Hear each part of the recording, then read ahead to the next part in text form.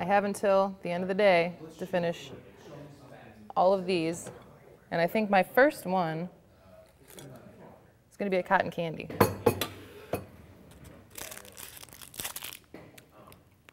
We'll see how it goes. Well, yesterday you saw me eat 17 Dum Dums in an hour. Today, I'm gonna try to eat 99 Dum Dums in one work day.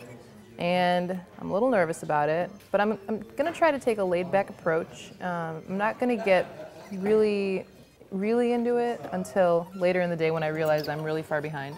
So this morning I started out with a, a, good bowl of oatmeal. Thought I'd really get some substance in my stomach. I made sure I went to the gym yesterday, had a really good night there, and uh, I'm looking forward to today. Uh, anything's really possible at this point. I think I could get really energetic. I could also get really tired.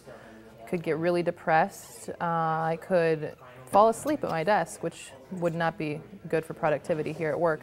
So another one of my concerns is also the volleyball game that I have to play at 6 o'clock tonight. I'm hoping that it is a playoff game, so I am hoping that we can pull out a win. Uh, I need to bring my A game, and uh, so I'm going to probably just completely disregard all of that during this challenge.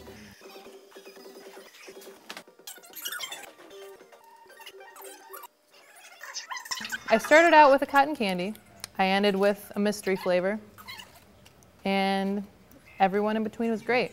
The, uh, the whole process wasn't as difficult as I thought it was going to be. It was actually pretty nice. I listened to some music, did some work, ate some dum-dums. It was a pretty, pretty well-rounded day. Want to thank everybody out there that checked out our live feed. Notice there were over a thousand people watching today. That's very exciting for this little Dum Dum challenge. And very glad that I reached the victory that I was after and had a lot of sugar along the way.